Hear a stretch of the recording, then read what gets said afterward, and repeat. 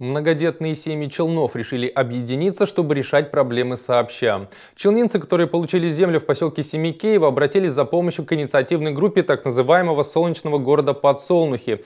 Накануне прошла очередная встреча. Какие проблемы есть у получивших землю горожан и с чего им стоит начинать? Тему продолжит Гузаль Шигапова. Поселок рядом с селом Семикеево назвали Приозерным. В этом районе участки получили почти 300 многодетных семей. Этап межевания земель уже прошли. Сейчас идет процесс присвоения названий улиц. Спортивная, школьная, цветочная, солнечная, да, семейная, счастливая. Понимаете? Улица изобилия, луговая. Мы бы хотели, конечно, чтобы топонимическая комиссия сохранила эти все названия, так как они по закону, значит, полностью соответствуют законодательству. Мы изучили законодательство. Да? Некоторые приозерцы уже начали застраиваться, коллективно подают заявки на проведение электроэнергии. Но есть и семьи, до которых еще не достучались члены инициативной группы. Таких около 50. Если заявки на услуги подавать коллективно, они обойдутся дешевле, предупреждают инициаторы. Группа ведет обсуждение в социальных сетях, ВКонтакте и WhatsApp. Номер телефона указан на экране. Вторую подачу заявок мы планируем на ноябрь-декабрь. Всех приозерцев просим откликнуться. Потом уже у нас идет сейчас в данный момент присвоение значит, на название улицам.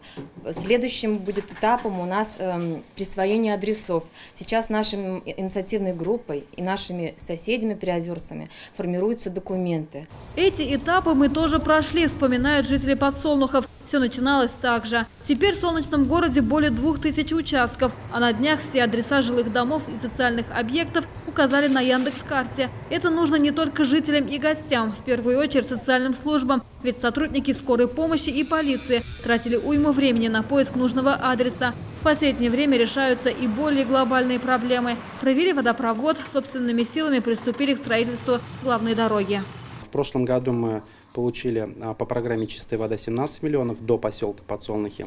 В этом году 15 миллионов. Мы сейчас 80% работы проводим упор на строительство основной дороги, главной, а, а другие, к примеру, а, внутренние свои дороги, то есть уже соседи стараются скидываться сами. Многодетные семьи, вообще вот данные инициативы, они всегда поддерживаются, активная жизненная позиция гражданская, когда э, люди со своей позиции они стараются улучшить, э, соответственно, облагородить, дать название. Э, соответственно, помимо э, после улиц, названия улиц, я думаю, там будет и инфраструктура точно так же развиваться. Сейчас инициативная группа обоих поселков готовит документы на получение различных грантов, надеются на победу. Это позволит улучшить инфраструктуру. Гузель Шигапова, Ильдар Шайдулин, Новости Челны-ТВ.